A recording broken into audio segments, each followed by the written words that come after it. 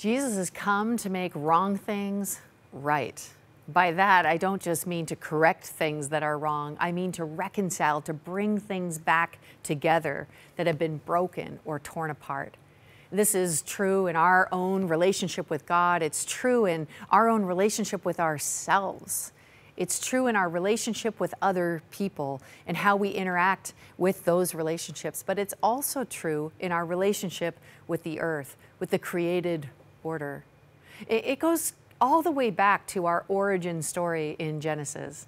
It's actually quite a beautiful story of, of, of, a, of a garden and God creating someone to care for the garden. As a matter of fact, the words that God uses when He talks about the creation and the instructions for humanity over creation and over the care of the earth are to serve and to protect.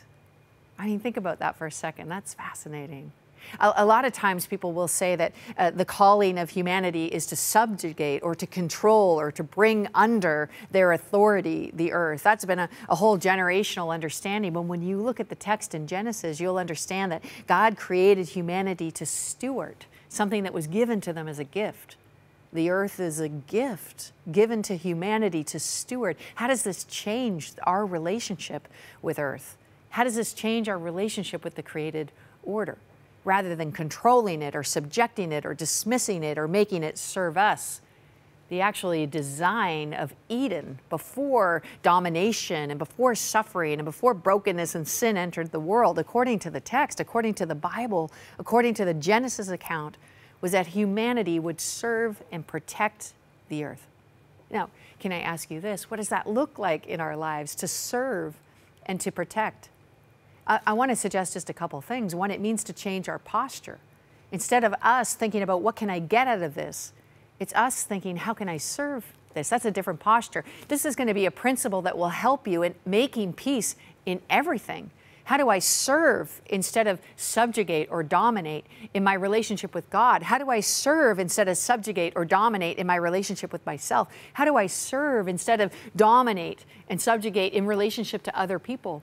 And how do I serve instead of dominate and subjugate in my relationship with the created order? Those kind of questions, even just that question, how do I serve, will actually open up to you your original destiny. This is what you were designed for to be a servant of goodness, to be a servant of peace, to be a servant of forgiveness, to be a servant of mercy, to be a servant of God so that you could represent him. And this is by far what Romans is talking about, surely, when Paul the Apostle in Romans says that the entire created order is groaning out for the children to become the children of God. What would it look like if we restored what it is that God had already created us to be?